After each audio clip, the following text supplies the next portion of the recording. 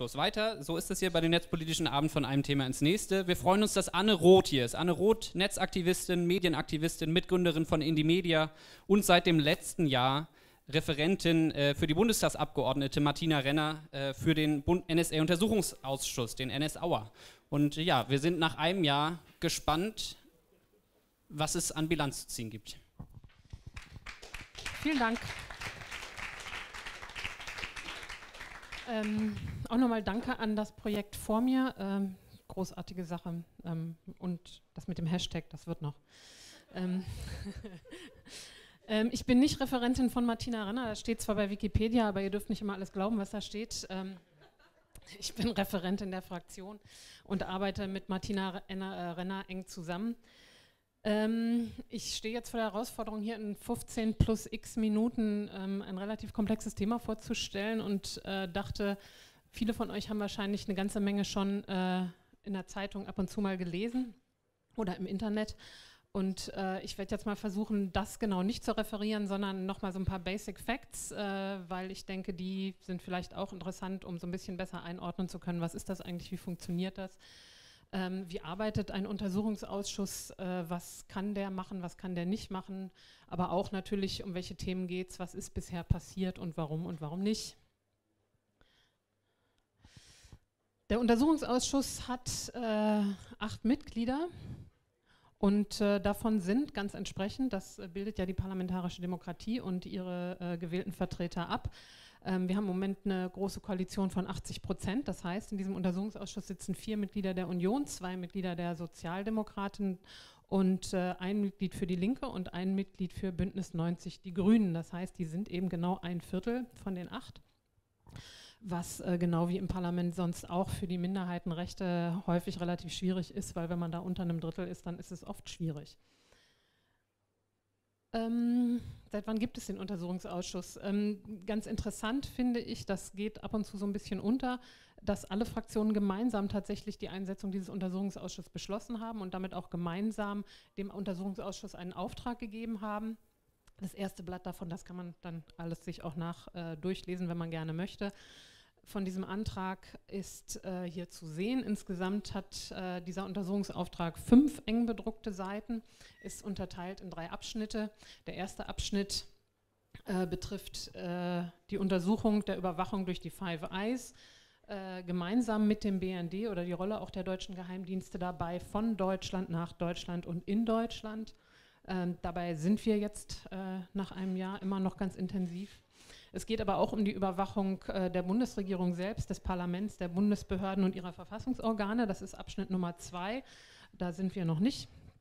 Und schließlich im dritten Abschnitt geht es darum, dass der Untersuchungsausschuss Empfehlungen aussprechen soll äh, zum Schutz der informationellen Selbstbestimmung und zur Integrität der IT-Systeme. Das alles natürlich, wie gesagt, sehr viel ausführlicher, aber das sind so die drei groben Aufgaben, die der Untersuchungsausschuss hat. Insgesamt gibt es dazu dann 31 Unterpunkte. Die interessanten, die da so ein bisschen rausstechen aus dem, was ich oben schon beschrieben habe, sind speziell im ersten Abschnitt die Untersuchung der deutschen Beteiligung am Geheimen Krieg. Das ist ja in letzter Zeit auch ein bisschen in den Medien gewesen, die US-Basis Rammstein. Die Frage, werden von dort aus Drohnen äh, kontrolliert, gesteuert, werden nach da Informationen geliefert durch den BND, die äh, die Steuerung der Drohnen äh, möglich machen. Fröhliches Gelächter hier vor mir.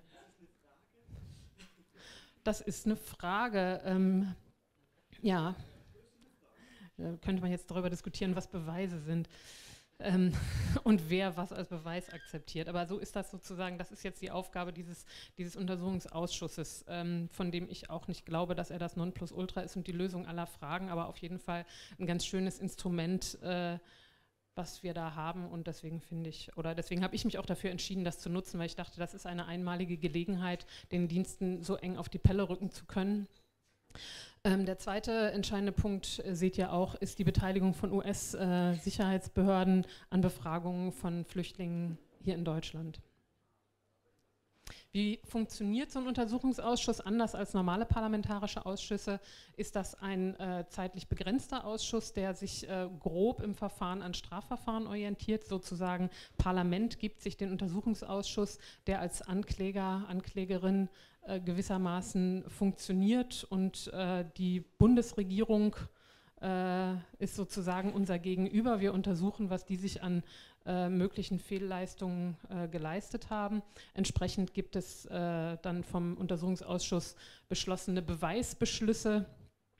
Die sehen dann, das liest man manchmal, in letzter Zeit ging es häufig um den Beweisbeschluss BND 26. Hier rechts habe ich den ersten BK1, der sich bezieht auf das Bundeskanzleramt. Das heißt, der Ausschuss sagt, wir wollen entsprechend unserem Untersuchungsauftrag sämtliche Akten und Dokumente und Daten und Informationen zum Thema äh, Abschnitt 1 des Untersuchungsauftrages. Das ist das hier. Äh, Abschnitt 1 und 2 mit Ausnahme von lalalala. Also man lernt viel juristische Formulierungen dabei, denn äh, das sind diese Sachen, die die Referentinnen dann schreiben müssen.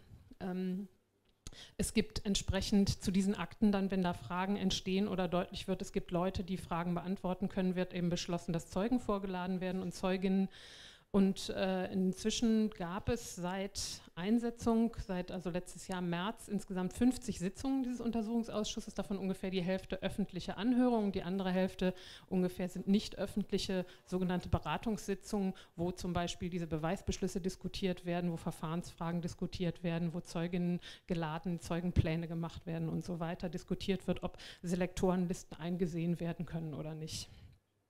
Das Ergebnis äh, wird nicht sein, dass äh, der BND abgeschafft wird oder die Regierung gestürzt, jedenfalls nicht, was äh, sozusagen die direkte Arbeit des Ausschusses angeht, sondern was dabei rauskommen wird, ist ein Bericht äh, fürs Parlament und äh, auch nur bezogen auf die öffentlich zur Verfügung stehenden Informationen. Alles, was in nicht öffentlichen Sitzungen, in geheim eingestuften Sitzungen stattfindet, wird in diesem Bericht auch nicht vorkommen können. Hier mal kurz, äh, alle Leute, die mit dem Parlament zu tun haben, kennen das. Das sind die äh, Sitzungswochen des Bundestages, also die Wochen im Jahr, wo der Bundestag äh, tagt und wo entsprechend auch Untersuchungsausschusswochen äh, und Ausschusssitzungen sind. Äh, wenn ihr mit Leuten wie uns zu tun habt, ist das ein wichtiges Instrument, weil da, wo die roten Balken sind, haben wir immer gar keine Zeit und dazwischen geht es ein bisschen besser. Dies hier ist ein Hilfsmittel, was ich mir mal gebastelt habe. Das ist eine Tabelle, äh, die mir verhilft, den Überblick über die Beweisbeschlüsse zu behalten. Ähm, das kann man jetzt nicht so gut sehen, aber wir haben zum Beispiel da ganz oben ne, diese grüne 1, das ist, B, das ist AA1 und ein bisschen weiter gibt es BFV1 und BK1. Das ist also der Beweisbeschluss, den ihr gerade schon gesehen habt. Beiziehung aller Akten zu Abschnitt 1 und 2 zu den Ministerien Auswärtiges Amt, Verfassungsschutz, äh, Bundeskanzleramt, BMI und so weiter. Und das sind sozusagen die Themen, zu denen wir schon Beweisbeschlüsse gefasst haben. Das ist ein bisschen unübersichtlich, aber einfach um mal so ein bisschen deutlich zu machen, in welcher Breite oder warum auch manchmal die Rede ist, dass da so wahnsinnig viele Akten ausgeliefert werden, in denen wir ertrinken. Das hat mit diesen Beweisbeschlüssen zu tun. Die roten markierten sind dann die, wo die entsprechenden Ministerien sagen, dazu haben wir keine Akten. Die grünen sind die, wo sie sagen, dazu habt ihr jetzt schon alle Akten. Ähm, ganz rechts sieht man die Fristen, die sie eigentlich hätten halten müssen. Ähm, und es ist aber auch nicht vollständig fertig ausgefüllt, gebe ich ehrlich zu. Hier kann man es noch mal ein bisschen genauer sehen oben die ganzen Ministerien, aber auch MAD, äh, Generalbundesanwalt und so die Themen, mit denen wir uns am Anfang beschäftigt haben. Es gibt einen Beweisbeschluss zu sämtlichen Akten, die zu tun haben mit den Dingen, die in den Snowden-Dokumenten im Spiegel, also in der Deutschland-Akte letztes Jahr im Sommer äh, veröffentlicht wurden. Also alles da drum herum. Das sind eine ganze Menge. So, ähm, jetzt vielleicht mal kurz äh, zu den Dingen, die in dem Ausschuss äh, stattgefunden haben bisher. Ich habe mal so die wichtigsten rausgegriffen für mich. Das erste war natürlich äh, die Benennung tatsächlich auch einstimmig äh, im Ausschuss des Zeugen Nummer 1, Edward Snowden, der ja benannt wurde schon letztes Jahr im Mai. Den Beweisbeschluss könnt ihr hier sehen. Der erste Untersuchungsausschuss hat am 8. Mai 2014 beschlossen, dass Edward Snowden Zeuge sein soll.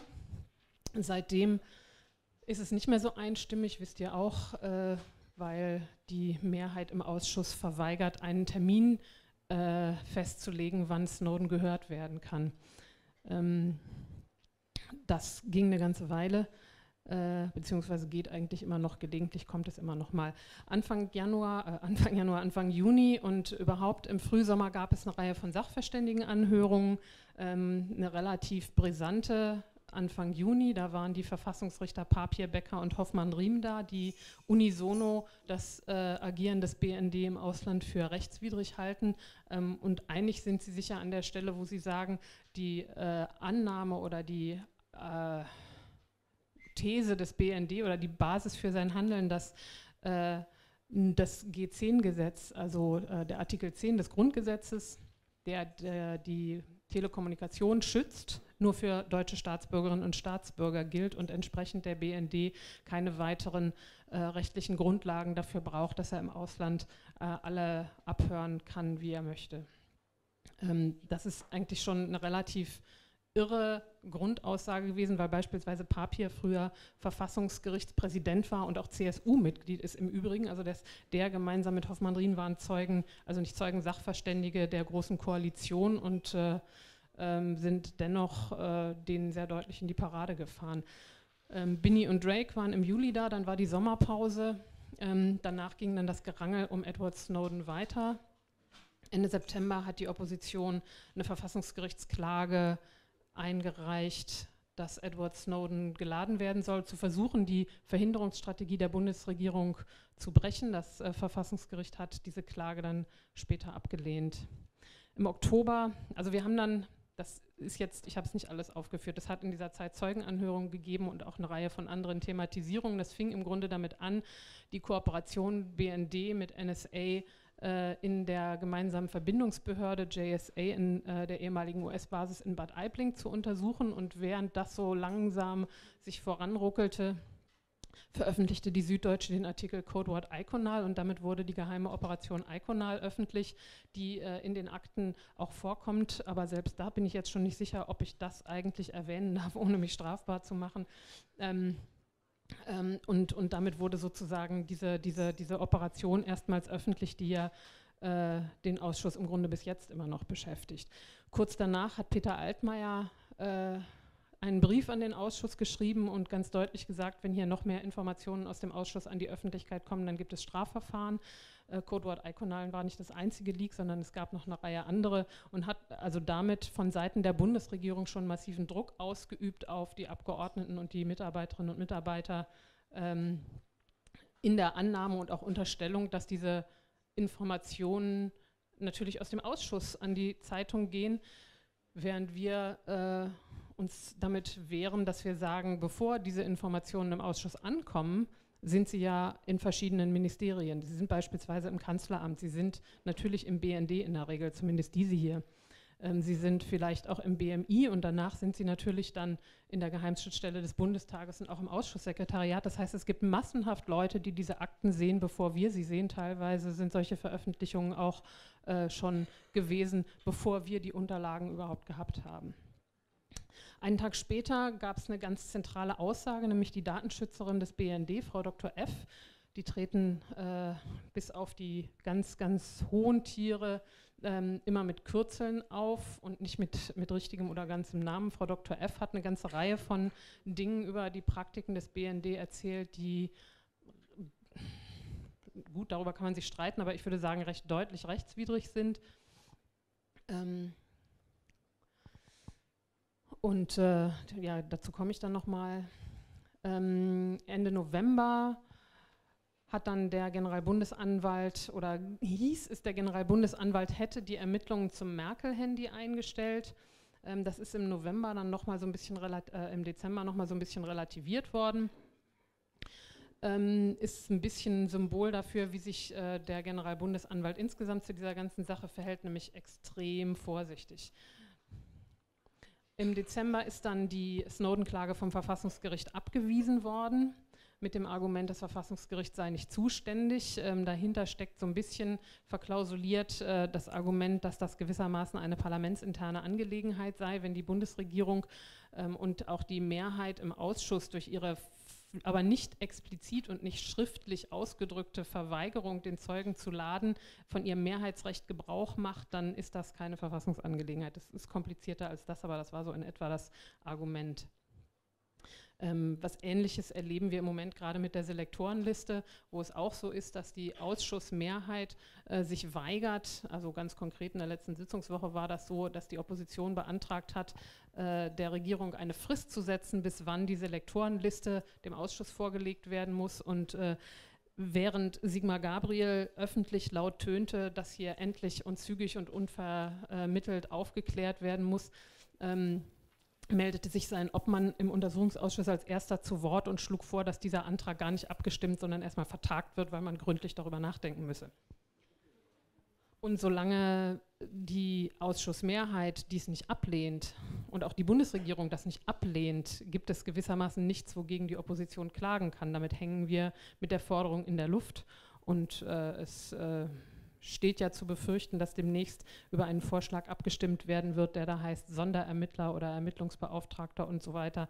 Und äh, da haben wir eben eine Dreiviertelmehrheit und werden uns mit rein parlamentarischen Mitteln dagegen schlecht wehren können.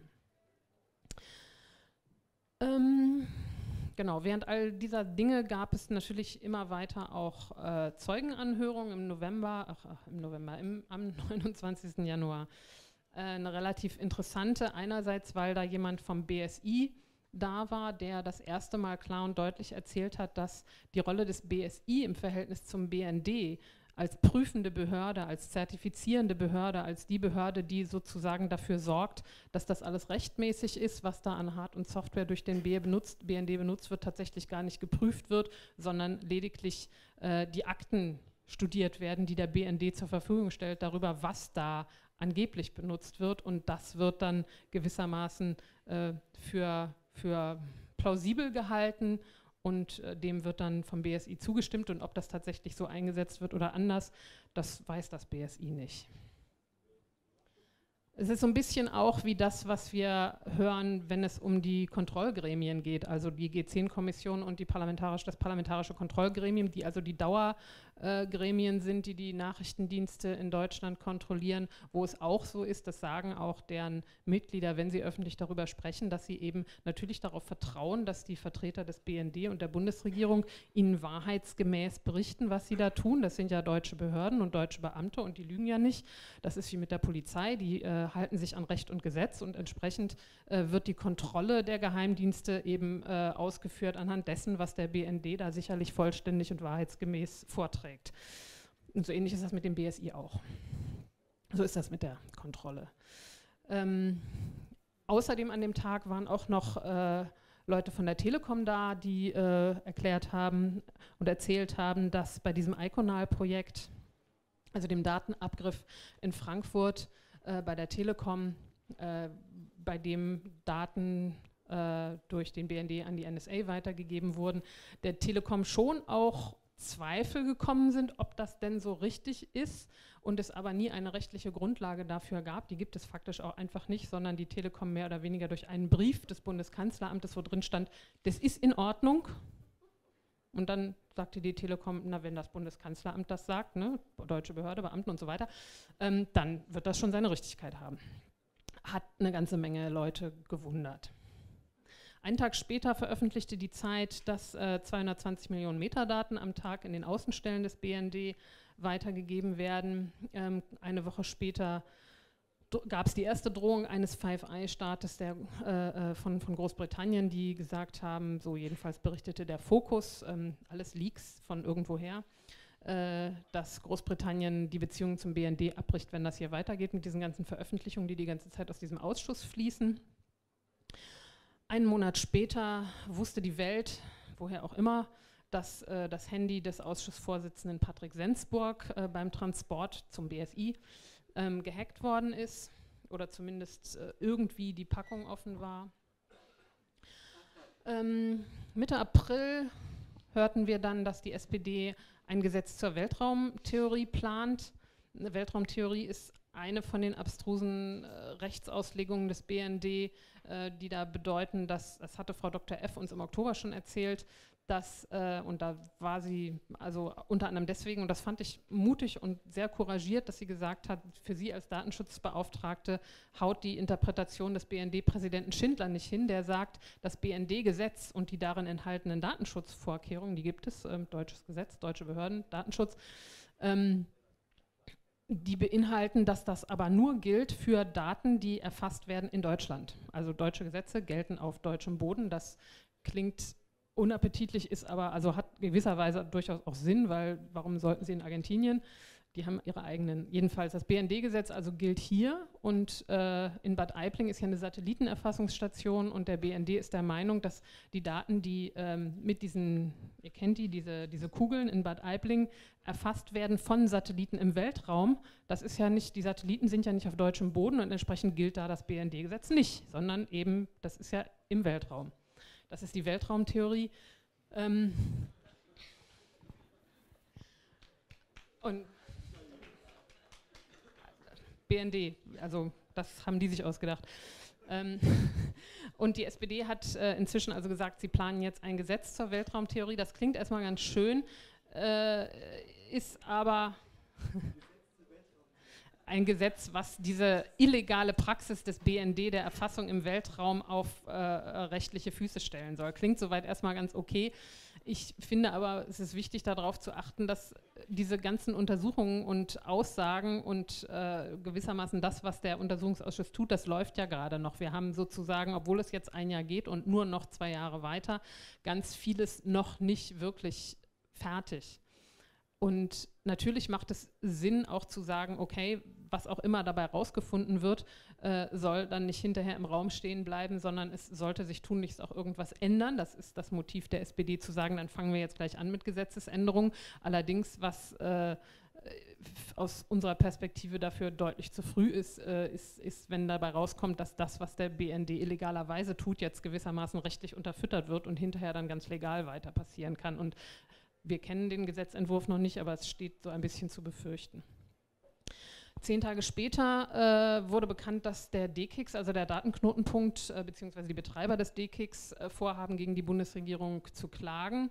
Dazu hatte es auch vom äh, Vorsitzenden des Beirat Landefeld im März eine ziemlich interessante Aussage gegeben, dass die eben sich doch auch sehr unwohl fühlen mit den verschiedenen Praktiken des BND, die sie ja ausführen müssen. Und äh, das ist aber ein bisschen untergegangen, weil einen Tag später der Spiegel dann äh, angefangen hat, äh, Details zu den Selektoren zu veröffentlichen. Die Tatsache, dass der BND äh, auch äh, gegen die jetzt in dicken Häkchen deutschen Interessen Spionage betreibt und auch gegen europäische Ziele, EU-Regierungen und so weiter, die ist nicht neu. Die sozusagen diese äh, Annahme oder auch durchaus etwas belegte Annahme, die gibt es im Grunde seit Echelon mindestens und ist auch vorher schon im Ausschuss erwähnt worden, aber äh, diese Lektorenproblematik, die ist dann eben einen Tag später vom Spiegel veröffentlicht worden und bewegt ja die Presse seitdem. Ein Effekt äh, war dann, dass diesmal die NSA äh, dann einen Teil ihrer äh, Überwachungspraktiken in Deutschland gestoppt hat. Was, das kann man jetzt äh, negativ finden, aber das kann man natürlich auch positiv finden. Ähm, dass da bestimmte Sachen jetzt nicht mehr stattfinden. Ähm, ob die NSA das gestoppt hat oder ob der BND das gestoppt hat, da gibt es ganz unterschiedliche Berichte dazu. Anlass soll gewesen sein, dass der BND ähm, in reumütiger Anerkennung, dass das schwierig ist mit der Spionage und dass das Bundeskanzleramt irgendwie nicht so richtig vielleicht informiert gewesen ist, was der BND da macht, von der NSA gefordert hat, die sollen nochmal erklären, was sie da eigentlich ausspionieren und die NSA dann äh, wohl gesagt haben soll, das äh, sagen sie nicht. Und wer jetzt gestoppt hat, ich weiß es nicht. Noch zwei Tage später äh, zog dann die Süddeutsche eine Karte aus der Tasche und veröffentlichte eine interessante E-Mail-Kommunikation zwischen dem äh, Kanzlerin-Berater Heusgen und der Obama-Beraterin Karen Donfried, äh, wo es darum ging, ob Pofalla, als er im August 2013 im Wahlkampf verkündet hat, die Snowden-Affäre sei erstens beendet und zweitens stünde ein gegenseitiges Wir spionieren nicht Abkommen, also No-Spy-Abkommen im Raum, ob er da gelogen hat oder nicht. Ähm, und die E-Mails, äh, denke ich, haben die meisten gelesen. Wenn nicht, äh, macht das, wenn ihr mal einen guten Moment habt. Ist sehr schmerzhaft zu lesen, wie unterwürfig äh, Heusgen äh, verspricht, nie wieder das Wort No Spy in den Mund zu nehmen. Ich bin jetzt keine Vertreterin dessen, die sagt, Deutschland muss selbstbewusster in dieser Situation sich verhalten. Ich finde Deutschland selbstbewusst genug, was das angeht, ähm, aber äh, ich äh, denke, das unkontrollierte Agieren von Geheimdiensten auf der einen und anderen Seite ist was, was aufhören muss und wo ich entsprechend solche Verhandlungen auch schmerzlich finde. Ähm Noch vier Tage später veröffentlichte Wikileaks dann äh, die äh, Protokolle der öffentlichen Sitzungen des Untersuchungsausschusses. Ähm, und noch eine Woche später passierte das, was ich gerade eben schon erzählt habe, dass die Koalition äh, den Antrag, unseren Antrag äh, auf Vorlage der Selektoren vertagt hat. Und schließlich hat jetzt vor einer Woche der Geheimdienstchef Klepper verkündet, der Untersuchungsausschuss sei gefährlicher als Snowden.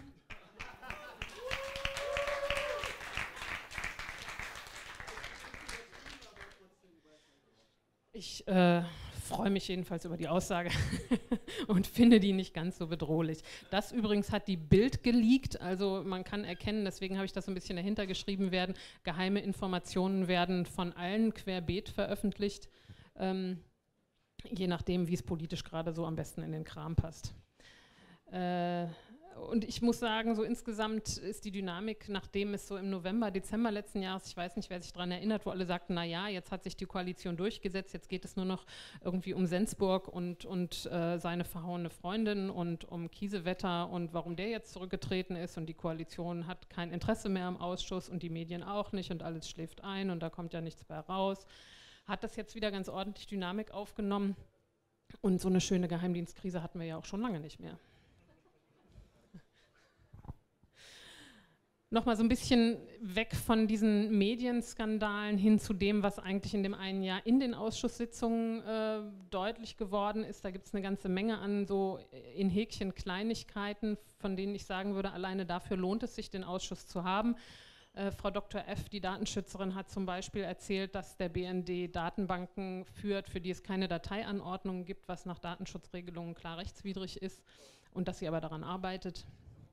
Ähm, überrascht niemanden groß, aber ist dennoch was, wo man sagen kann, der BND hatte ganz offensichtlich den Eindruck, sie können machen, was sie wollen. Sie brauchen sich an die geltenden Gesetze hier nicht halten, obwohl sie das permanent anders verkünden. Die Weltraumtheorie habe ich gerade erklärt. Sie hat auch gesagt, dass Daten äh, nach Personen äh, mit fünf Verbindungspunkten gesammelt werden.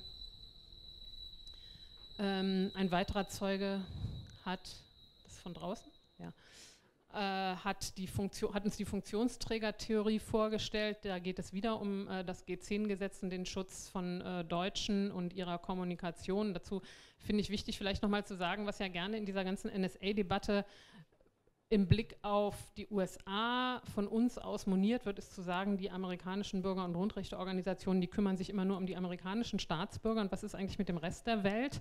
Ähm, zu Recht. Und dazu muss ich sagen, wir machen das im Grunde nicht anders. Und äh, der Grund dafür ist kein ausgeprägter Nationalismus, jedenfalls bei uns kann ich das so sagen, ähm, sondern einfach, weil die Geheimdienste ja erstmal anhand dessen überprüft werden, auf welchen Gesetzen sie sich bewegen. Und die sind eben so, dass sie vor allen Dingen erstmal die eigenen Staatsbürgerinnen und Staatsbürger schützen. Wir erwähnen natürlich permanent mit, dass wir finden, dass beispielsweise die Kommunikation nach Artikel 10 sich nicht nur, also der Schutz nicht nur auf Deutsche beziehen sollte, aber das ist zumindest erstmal das anerkannte Recht, auch mehrheitlich anerkannte Recht, ähm, entlang dessen der BND sich bewegen sollte. Und äh, entsprechend prüfen wir es an diesen Stellen auch ab, um nachweisen zu können, dass sie das nicht mal einhalten. Die Funktionsträgertheorie also meint, dass deutsche Staatsbürgerinnen und Staatsbürger, wenn sie im Ausland sind und dort also eigentlich vom BND nicht überwacht werden dürfen, in dem Moment äh, nach Meinung des BND nicht geschützt sind, wenn sie äh, Funktionsträger sind. Ein Funktionsträger sind sie dann, wenn sie in ihrer Eigenschaft als Angestellte eines Unternehmens oder aber auch beispielsweise als Journalistin für ein ausländisches Medium irgendwo arbeiten und kommunizieren und deutlich sozusagen nach Ansicht des BND klar zu trennen ist, was ihre Privatkommunikation und was ihre, ihre Kommunikation für ihre Arbeit ist. Und die wäre dann eben, in Deutschland wäre sie geschützt, im Ausland ist sie dann eben nicht geschützt, weil sie sind ja Funktionsträger für äh, zum Beispiel eben den CNN oder so. Es ist verschiedentlich von unterschiedlichen Zeugen sehr deutlich gemacht worden oder auch gesagt worden, ähm, dass Metadaten für den BND keine personenbezogenen Informationen sind, was natürlich ähm, einerseits für die ganze Metadatenauswertung der Five Eyes unheimlich wichtig ist und auch nochmal eine Rolle spielt für die Frage, sind Informationen, die der BND an die NSA weitergibt, mit Bezug auf den Drohnenkrieg, äh, und aber sagt, dass äh, damit kann man ja überhaupt niemanden lokalisieren, das sind ja keine personenbezogenen Daten. Ähm, das ist ein Punkt, der, der glaube ich, uns noch eine Weile beschäftigen wird. Es gibt da unterschiedliche Aussagen dazu, definitiv überhaupt keine klaren, welche Metadaten vielleicht dann doch personenbezogen sein könnten. Es gibt durchaus BND-Mitarbeiter, die sagen, die sind generell nicht personenbezogen. Ähm, darunter eben gleich auch dieses, das hat damit zu tun, die Mobilfunkdaten äh, eignen sich nicht zur zielgenauen Lokalisierung. Da geht es um den Drohnenkrieg. Das ist gewissermaßen so ein Mantra des äh, BND, die sagen, wir können Mobilfunkdaten beispielsweise Pakistan, Afghanistan äh, problemlos weitergeben, denn äh, damit kann man ja niemanden umbringen, damit kann man ja niemanden lokalisieren. Das ist sozusagen aktueller Stand äh, der Dinge. Worum es auch ganz viel geht, ist die Vorgabe, dass der BND bei der Erfassung von Daten ähm, insofern eingeschränkt ist, als er gesetzlich jetzt tatsächlich nicht einfach alles mitnehmen darf, sondern äh, maximal 20 Prozent zum Beispiel einer bestimmten äh, Datenleitung, die überwacht werden soll, für die es eine G10-Anordnung gibt. Und äh, wo ganz deutlich geworden ist, dass als dieses Gesetz gemacht wurde, äh, noch analog telefoniert wurde. Es gab keine paketvermittelte Kommunikation und äh, die Vorgabe war, die 20 Prozent müssen abgetrennt werden, bevor irgendein weiterer Eingriff stattfindet. Das macht bezogen auf paketvermittelte Kommunikation wenig Sinn, weil wenn man da pauschal 20 Prozent rausnimmt und versucht, das hinterher wieder zusammenzusetzen, kommt keine lesbare Kommunikation raus. Das äh, so sagte auch einer der BND-Zeugen, wenn man sich daran hielte, dann hätte man von der ganzen Datenerfassung nichts. Korrekt. Ähm Deswegen, so der Schluss des BND, halten sie sich halt nicht dran. Ähm, und das ist aber ja auch nicht erst seit gestern so, dass äh, wir paketvermittelt kommunizieren. Es wäre also äh, auch aus Perspektive der Bundesregierung immer wieder möglich gewesen, das Gesetz der technischen Entwicklung anzupassen, haben sie aber nicht gemacht, weil offensichtlich viel bequemer war, äh, das dezent zu ignorieren und dabei dann eben einfach weitermachen zu machen wie gehabt und die 20 Prozent ganz anders auszulegen. Da gibt es auch unterschiedliche Interpretationen, äh, wahlweise bezogen auf die Gesamtkapazität der Leitungen oder aber vielleicht auch bezogen auf, äh, wenn Sie sagen, wir nehmen 20 Prozent der Kapazität, aber natürlich wird nicht die gesamte Kapazität ausgenutzt, sondern es wird sehr viel weniger durchgeleitet ähm, und dann hat man natürlich auch mehr als die eigentlichen 20 Prozent der Kommunikation, die in einer Leitung übertragen wird. Ähm, und schließlich äh, noch wieder auch so eine etwas sperrige Angelegenheit, die aber mindestens den ehemaligen äh, Vorsitzenden der G10-Kommission, also des einen parlamentarischen Gremiums, das den BND eigentlich in seinen Aktivitäten kontrollieren soll, Hans de Wind, der als Zeuge da war, ziemlich blass hat werden lassen, als der in seiner Zeugenbefragung realisiert hat, dass die G10-Anordnung, die die G10-Kommission äh, bewilligt. Also bestimmte Leitungen dürfen überwacht werden mit dem Argument, da kommunizieren bestimmte Leute, die bestimmte äh, Terroranschläge planen oder was auch immer. Also so ungefähr wird der G10-Kommission das vorgetragen, dass diese G10-Anordnungen wenn sie sich auf Leitungen in oder durch Deutschland bezogen haben, äh, sich gar nicht äh, unbedingt bezogen auf äh, bestimmte deutsche Staatsbürgerinnen und Staatsbürger, um die es ja geht beim G10-Schutz, sondern um das, was da sonst noch so durchfließt, die sogenannten Routineverkehre zu erfassen. Ähm ja, ich weiß nicht, wie spät es ist, weil hier keine Uhr ist und ich habe auch keine und 20 äh, vor 10. Ich versuche jetzt noch ein bisschen schneller zu machen oder vielleicht auch ein paar Sachen wegzulassen. Immer, die Viertel, das ist so eine BND-Viertelstunde. Neben diesen inhaltlichen Sachen, äh, diesen kleinen und größeren äh, inhaltlichen äh, äh, Dingen, gibt es ein zweites großes Kapitel des Untersuchungsausschusses. Und da geht es überhaupt gar nicht um den eigentlichen Untersuchungsauftrag, sondern um Formfragen, wenn man so will.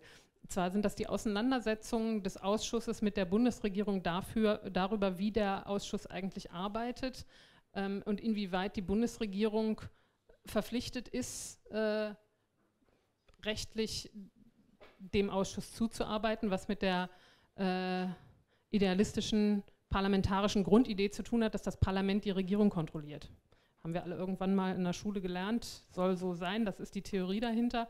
Und praktisch ist es aber eben faktisch, also das sieht man im Ausschuss, das spürt man und sieht man und äh, merkt man sehr schön, wenn man sich so eine Anhörung mal anguckt, tatsächlich umgekehrt. Der Ausschuss hat Ideen, möchte bestimmte Dinge tun, teilweise auch die Ausschussmehrheit und die Bundesregierung sitzt mit Vertretern dort im Ausschuss und sagt, das könnt ihr machen, das könnt ihr nicht machen, das ist geheim, da dürft ihr nicht drüber reden.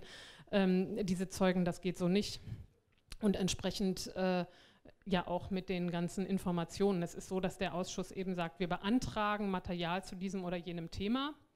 Die Bundesregierung ist dann verpflichtet, sämtliche Akten, Informationen und so weiter an den Ausschuss auszuhändigen. Und faktisch ist es aber so, dass das äh, in der Form immer nur sehr eingeschränkt stattfindet. Ähm, das ist teilweise viel durch die Medien gegangen, Aktenschwärzung. Ich fand ganz lustig, dass ich gefunden habe, Thomas Oppermann, als er noch in der Opposition war, kurz vor der Wahl, sich darüber lustig macht, ähm, wie so Dokumente der NSA äh, aussehen, die Pofalla der, der, der NSA abgerungen hat, aber faktisch sozusagen sehen unsere so ähnlich aus. Die dürfte ich jetzt hier nicht darstellen, ist ja alles geheim, darf man nicht fotografieren und so. Deswegen dachte ich, sehr schön, kann ich das nehmen, hat der Oppermann gemacht. Ähm, aber unsere sehen genauso aus. Dass sie geschwärzt sind, äh, äh, ich zitiere jetzt hier Herrn Ströbele, der hat das oft genug schon erwähnt, auch andere. Ja, nee, das ist, glaube ich, klar. Entsprechend auch äh, ist es so, dass die Zeuginnen und Zeugen Aussagegenehmigungen haben durch die Bundesregierung, sind ja Beamte der BND, ist der Bundesregierung dem Kanzleramt unterstellt, wo ganz klar drin steht, das und das dürfen sie sagen, zu den und den Dingen dürfen sie was aussagen, zu anderen Sachen nicht. Und in den Anhörungen ist es auch immer wieder so, dass die sozusagen permanent, äh, das ist gewissermaßen ein Kreis, in dem der Ausschuss sitzt. Hier sitzen die Abgeordneten, in der Mitte der Zeuge, auf der anderen Seite sitzt die Bundesregierung. Bundesregierung und die Zeugen, die gucken immer wieder zum äh, Vertreter der Bundesregierung, Philipp Wolf, der dann eben sagt ja oder nein oder kannst du beantworten oder hier, jetzt ist aber Schluss. Ähm, anderer Auseinandersetzungspunkt dabei ist, äh, dass diese Akten verschiedene Sorten von sogenannten Einstufungen haben. Einstufung bedeutet, sie sind entweder öffentlich. Öffentlich sind von den Untersuchungsausschussakten gar keine und dann, sondern in irgend, also in verschiedenen Einstufungen eben nicht öffentlich oder geheim. Geringste Einstufungsform ist NFD, nur für den Dienstgebrauch. Das dürfen sozusagen alle Leute einsehen, die im Bundestag äh, beispielsweise oder in den Ministerien arbeiten. Dann gibt es geheime Akten, streng geheime Akten und dann gibt es das sogenannte Treptow-Verfahren. Das sind die ganz super streng geheimen Akten. Die dürfen nur von den Obleuten der Fraktionen, also pro Fraktion eine, sind insgesamt also vier Personen, ähm, in Treptow beim BKA in einem Raum eingesehen werden, aber die dürfen sich dazu nichts aufschreiben müssen sich alles äh, merken. Für diese Lektorenlisten zum Beispiel war mal eine Weile im Gespräch, ob vielleicht das Treptow-Verfahren eine Möglichkeit wäre und wir stellen uns alle vor, 10.000, 15.000, 40.000 äh, Millionen von IP-Adressen hm? merken. Geht wahrscheinlich nicht so richtig gut. Ähm, das alles wird noch getoppt davon, dass äh, ganz viele Akten sich im Konsultationsverfahren befinden. Die Bundesregierung ist der Meinung, dass die Kooperation zwischen BND und NSA, die ja durch äh, äh, bestimmte ähm, Abmachungen äh, geregelt sind. Das sogenannte, eins davon ist das sogenannte Memorandum of Understanding, was die Basis äh, für ganz viel von dem ist, über das wir hier reden. Und da drin, äh, sagt die Bundesregierung, ist eben festgelegt, dass äh, die Beteiligten äh, die Akten oder die Dinge, die das dort geregelte betreffen, nicht äh, weitergeben dürfen, weswegen sie auch der Meinung ist, dass Akten, die die Kooperation betreffen und jetzt nicht nur amerikanische Akten oder britische Akten oder kanadische meinetwegen, sondern deutsche Unterlagen über Gespräche, über diese Projekte und andere Dinge nicht an den Ausschuss gegeben werden müssen, sondern zunächst die USA gefragt werden muss, ob denen das Recht ist, dass der Ausschuss diese Sachen anguckt. Ähm, und äh, wenig überraschend ist noch nicht viel zurückgekommen von dem, was in dieses Konsultationsverfahren reingeraten ist. Entscheidungen, wer verzögert, habe ich äh, schon beschrieben, zum Beispiel Snowden oder jetzt dieser Antrag und davon gibt es noch reichlich. Die Einschüchterung durch Androhung von Strafverfahren, sowohl die Abgeordneten als auch uns betreffend, habe ich auch schon beschrieben. Ähm, und das war das erste Jahr. Ähm, wie geht es weiter? Das hängt äh, wahrscheinlich ein bisschen wie bisher auch schon davon ab, was sonst noch so öffentlich diskutiert wird, denn der eigentliche Fahrplan, den der Ausschuss hatte, der ist äh, durch die verschiedenen Operationsveröffentlichungen, also Iconal etc., immer wieder völlig durcheinander geraten.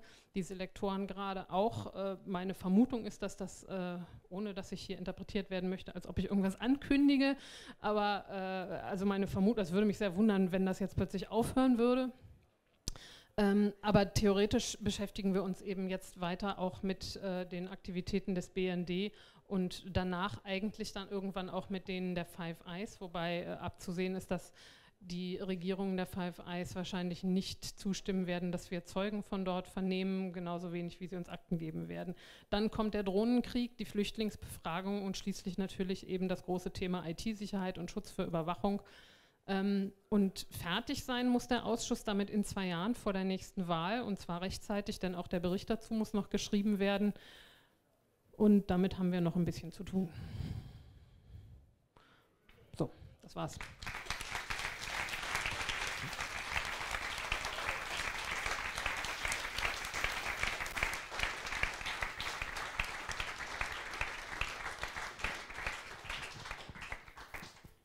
Ja, vielen Dank auch an dich für deinen Vortrag einerseits, aber die Arbeit, die du machst andererseits. Ich kann mir vorstellen, dass es trotz der fortgeschrittenen Zeit auch noch Rückfragen gibt. Ein, zwei könnten wir vielleicht noch zulassen, ansonsten dauert es leider einfach zu lange heute Abend, bitte. Danke. Mariam Lau, die Zeit. Ähm, mich würde mal interessieren, ich bin jetzt nicht so ganz schlau daraus geworden, gibt es irgendeinen Moment, wo man beweisen kann, also die Frage steht ja im Raum, hat der BND sich jetzt rechtswidrig verhalten, hat er deutsches Recht gebrochen? Können Sie das bejahen? Gibt es dafür Beweise oder nicht oder noch nicht? Also ich würde sagen ja. Das habe ich ja eben versucht zu beschreiben. An einer ganzen Reihe von Punkten verhält sich der BND aus unserer Perspektive eindeutig rechtswidrig. Inwieweit sich der Ausschuss zum Schluss zu dieser Meinung durchringt, weiß ich nicht. Das hängt so ein bisschen dann auch vom Selbstverständnis der Abgeordneten der Koalition ab, die ja sehr stark schwanken zwischen äh, ihrer Rolle, in der sie die Bundesregierung verteidigen und andererseits gelegentlich sich auch mal bei ihrer Ehre als Abgeordnete gepackt fühlen, wenn die Bundesregierung allzu sehr über die Füße fährt. Ähm, und dann will ich Ihnen auch nicht absprechen, dass Sie tatsächlich hier und da auch noch eine politische Meinung selber haben, die, die da auch noch mal mit durchkommt. Ähm. Okay, wir sammeln vielleicht einfach mal, weil es jetzt noch zwei Fragen gibt, mal eben. Genau. Ähm, ich hoffe, meine Frage nicht zu persönlich ist. Wenn ich mich richtig daran erinnere, hast du eine eigene Erfahrung mit Überwachung gehabt? Ähm, und musst du natürlich nicht beantworten, aber wenn es geht, äh, was hat es für einen Einfluss auf oder Bedeutung deiner Arbeit im Untersuchungsausschuss? Wir machen mal direkt weiter mit der nächsten Frage.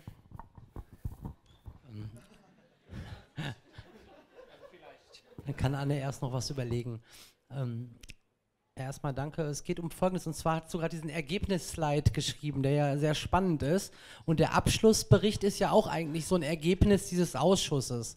Was ich mich jetzt frage, ist, wo siehst du so diese Sollbruchstellen dessen, was hinterher in den Abschlussbericht reinkommt? Weil ne, du hast hier einige Punkte angesprochen. Lass uns mal die Metadaten zum Beispiel nehmen, ob die jetzt äh, zum Killing genutzt werden können, ja oder nein. Da gibt es ja anscheinend auch Dissens im Ausschuss. Wie findet man da jetzt zu einem Ergebnis und was steht dann hinterher im Abschlussbericht? Jetzt Frage noch, wenn du merken kannst. Ich hätte noch mal eine kurze Frage zur internationalen Zusammenarbeit, weil das ist ja ein extrem globales Thema und ähm, was du so dargestellt hast, ist, dass ihr alle so im nationalen Sumpf so ein bisschen schwimmt, weil ihr euch an nationale Gesetze halten müsst.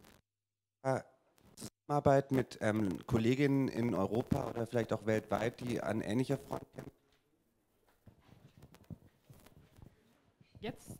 Okay, also meine persönliche Überwachungserfahrung ähm, ich muss dazu sagen, ich bin Politikwissenschaftlerin, beschäftige mich mit Grundrechten und, und äh, Polizei und Überwachung seit 20 Jahren. Dass mich das dann persönlich erwischt hat, äh, viele Jahre später, das ist ein extrem unglücklicher Umstand, aber war sozusagen nicht der Auslöser meiner Beschäftigung mit solchen Themen. Ähm, insofern äh, würde ich behaupten, das hätte mich auch so interessiert und natürlich aber spielt da immer mit rein, dass ich selber äh, schon erlebt habe, zu wissen, wie sich das anfühlt, wenn man den Eindruck hat, deine Mails werden mitgelesen. Das unterscheidet mich vielleicht jetzt von meinen Kolleginnen und Kollegen, die das jetzt das erste Mal so bewusst deutlich vor Augen haben oder schlecht verdrängen können, dass mit Sicherheit alle Leute, die mit dem Ausschuss zu tun haben, äh, äh von verschiedensten Diensten genau überwacht werden. So kurz dazu. Die Frage von dir, nochmal ein Stichwort. die Ergebnisse. Ähm, na, der Bericht, der zum Schluss geschrieben wird, äh, der wird abgestimmt und insofern äh, wird es äh, mit ziemlicher Sicherheit, so wie das auch sonst bei anderen Untersuchungsausschüssen der Fall ist, einen gemeinsamen Bericht geben und dazu noch ein Minderheitenvotum, wo drin steht, was die Opposition darüber hinaus äh, findet äh, zu dieser ganzen Angelegenheit. Und die letzte Frage, internationale Zusammenarbeit. Sehr wenig, äh, weil einfach wir dafür kaum Kapazitäten haben. Also um, ich äh, jammere darüber gern und viel und wollte das jetzt eigentlich nicht machen, aber nur um das mal ganz kurz zu skizzieren. Es ist so, es sind eben zwei Abgeordnete der Opposition plus zwei Stellvertreter. Dazu haben die Grünen und die Linken je eine Referentin für diesen Ausschuss und dann gibt es noch ein paar persönliche Mitarbeiterinnen der Abgeordneten. Das ist sozusagen die Ressource der, der Opposition im Ausschuss. Die großen Fraktionen haben größere Stäbe von Personal und im BND, so geht zumindest der Flurfunk, soll es ein Team von ungefähr 100 Leuten geben, die alleine mit diesem Ausschuss beschäftigt sind. Das ähm, macht und sozusagen die Menge an Themen habt ihr ja gesehen. Das heißt, wir versuchen einfach so gut wir können, äh, äh, möglichst viel von diesem Material jetzt zu bearbeiten, weil das ja auch die einzige Chance ist, die wir haben. Und da bleibt dann einfach relativ wenig Zeit noch für so eigentlich auch wichtige Dinge, die aber eben zum Beispiel auch andere Leute machen könnten, wie zum Beispiel internationale Vernetzung. Ich habe jetzt zufällig auch durch meine Arbeit vorher Kontakte in verschiedene andere Länder, die das interessiert, beobachten und äh, was ich zum Beispiel total spannend finde, mit Google Translate die Netzpolitikprotokolle ins Englische übersetzen, um sie dann ihren eigenen britischen, in dem Fall Abgeordneten unter die Nase zu halten, um denen zu sagen, ey, guckt mal, das ist in Deutschland möglich, ihr könntet ein bisschen mutiger sein ähm, im Umgang mit GCHQ Sowas gibt es in Großbritannien, da gibt es ja beispielsweise auch viele Gerichtsprozesse, die es jetzt hier nicht so gibt. Ähm, aber das ist alles eher so Freizeitaktivität am Rande. Mehr schaffen wir nicht. Ich muss leider das Mikro nehmen, weil das andere den Geist aufgibt. Sorry, dass wir nicht mehr Zeit haben für noch mehr Fragen. Äh, vielleicht bist du noch ein bisschen da zumindest äh, und kannst im Zweifelsfall auch noch bei einer Limo oder einem Bier eine Frage beantworten. Vielen Dank äh, für den Vortrag. Man, ja, bitte.